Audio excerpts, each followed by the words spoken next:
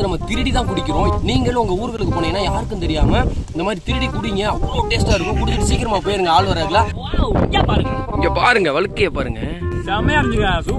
ஊர்ல எவ்வளவு பெரிய மரமா இருந்தாலும் சராசரன் ஏறி சராசரன் வெட்டி போடுவான் திருடி அவர் பார்த்துட்டாரு அவர் ஊருக்குள்ள போய் பஞ்சாயத்து கூட்டுறதுக்குள்ள நம்ம இடத்த காலி பண்ணி ஓடிடுறது. ஆ பாருங்க வழுக்க வழுக்கையோட டேஸ்டே தனி டேஸ்ட் தாங்க எப்பவுமே.